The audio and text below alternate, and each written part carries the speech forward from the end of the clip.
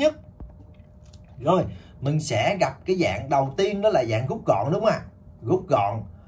Muốn giải được rút gọn, thứ nhất các bạn phải tìm điều kiện có nghĩa. Nếu đề bài cho thì các bạn không cần phải tìm điều kiện có nghĩa. Được chưa còn nếu không cho thì các bạn nhớ điều kiện có nghĩa khi các bạn cần phải nhớ những kiến thức sau đây.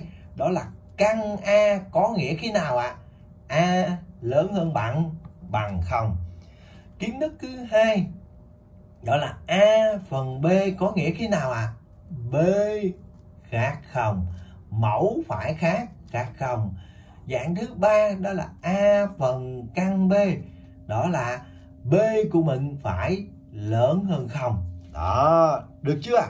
đó đó là những cái điều kiện có nghĩa cần nhớ, được chưa? Tiếp theo, đó là các bạn phải tìm được mẫu thức chung thì mẫu thức chung hàng này, các bạn phải có những cái kỹ năng cơ bản. Đó là gì à? Bảy cái hàng đẳng thức đáng đáng nhớ. Đó. Bảy cái hàng đẳng thức học ở lớp mấy à? Lớp 8 đó các bạn. Lớp 8 đó các bạn. Được chưa? Tiếp theo, đó là các bạn phải biết quy đồng mẫu thức chung. Quy đồng mẫu thức chung. Đó, quy đồng mẫu thức chung.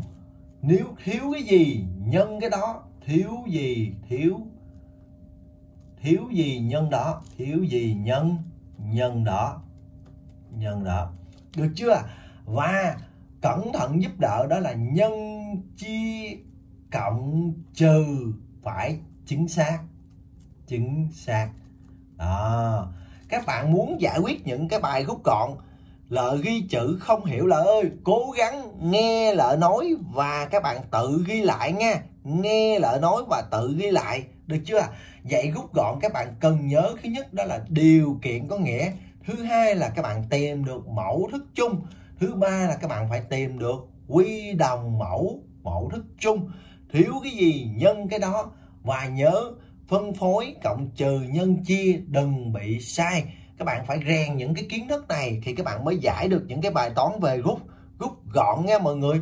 Mình giỏi về phần này thì các bạn sẽ giỏi về phần rút rút gọn nha mọi người. Ok chưa mọi người? Mọi người trong quá trình hướng dẫn có chỗ nào bị sai, chỗ nào bị thiếu, các bạn cố gắng comment giúp lợi để là khắc phục những đoạn clip sau trở nên hay và ý nghĩa hơn nha mọi người. Cảm ơn mọi người rất nhiều nha.